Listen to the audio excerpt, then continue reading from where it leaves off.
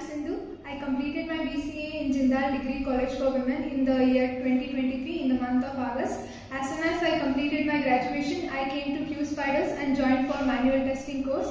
The first class was taken by Gopi sir and Pradeep sir, that was manual class. SQL classes was taken by Srinivas sir. Apti class was taken by Selva Kumar sir and Java class was taken by Kavin sir. So because of the daily presentations and grooming, because of mock interviews, it helped me to improve my communication and confidence. I would like to thank you.